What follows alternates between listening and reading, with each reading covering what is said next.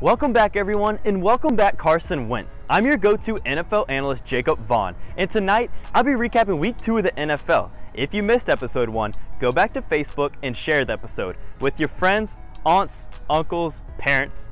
Tell your roommates, even that one cousin that you don't really like. Let them all know. This is First and Vaughan, you know. Before we get this episode kicked off, click that red subscribe button below, leave a like, and then comment if the Ravens should stick with Joe Flacco at quarterback or not. This is First and Vaughan, this is First and Vaughan, this is First and Vaughan, you know. Wait a minute, you mean I, this borrow, I borrowed your stuff. Sorry. Yeah, I borrowed your stuff. Sorry, Deshaun. Wait, what, what is yours? Is any of that yours or is that? The chest hair is mine. Does anyone have any chest hair I could borrow?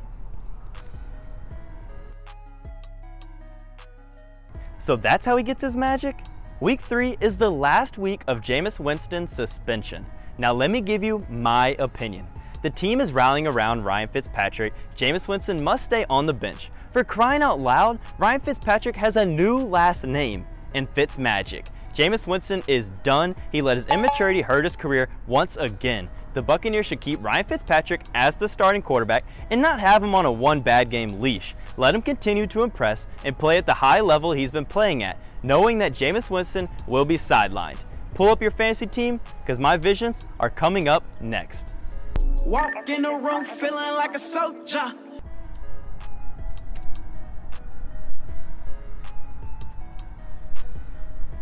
Sorry everyone, I just wanted to pull a Vontae Davis. A lot of you have been sending me pictures of your fantasy football lineups, asking questions, and getting my opinions. Now this week, continue to do that and go on Twitter. Follow First and Vaughan if you haven't already. Find our pinned tweet, which is a fan poll this week. Vote to let me know which player in fantasy football has been a surprise to this point. First off, my former athletic trader Mr. P made this Facebook post saying to start whatever player in defense that plays the Bills, and I'll second that Mr. P. Now here's who to add and drop in week three, starting with the drops. Drop Raiders wide receiver Jordy Nelson and drop Panthers running back CJ Anderson. Now go in and fill those spots. Add Chargers running back Austin Ekeler and add 49ers running back Matt Breida. Now sit and start for week three.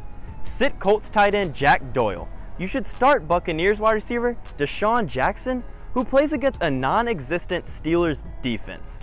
Follow me at JVaughan Sports on Twitter. Like I said last week, I'm here to help you, unless I play you. In that case, you're about to take this L. Who headline in week two of the NFL? Oh my, subtle to the grain till the battle's over. I had a lot of requests, so here it is my Super Bowl prediction. The Super Bowl matchup will be the Jaguars versus the Rams. I could make the homer pick like I want to because my Philadelphia Eagles will repeat. And week two was headlined by Chiefs quarterback Patrick Mahomes, who put up six touchdowns and 10 total in the first two weeks. He's the first quarterback to do so, and he's only 22 years old. Closing out this week's episode. Riding around town. My moment of the week goes to this catch. Like J. Cole said, it's a cold world. One safety back in the middle. First and 15, and what a catch!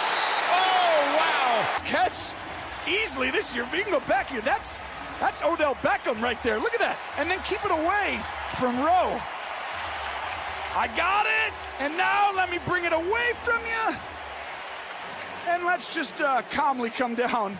Thank you, ladies and gentlemen, for watching 1V. Read my Redskins articles on richmondtoday.com. Stay ready for next week. You might miss me until then, but don't worry. Like First and Vaughan's Facebook page and follow First and Vaughan on Twitter and Instagram. Remember, vote in the fan poll, comment your opinion, and click that subscribe button because this is First and Vaughan, you know. Walk in the room feeling like a soldier.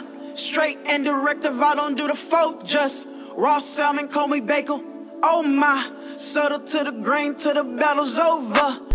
Sang to the gang, that's my peeps, I love them. Save me in the water, cause you know I can't swim. I don't wanna talk, I wanna do right. Straight and directive, I don't do the folk just. Raw Five, four, three, two, one. Perfect.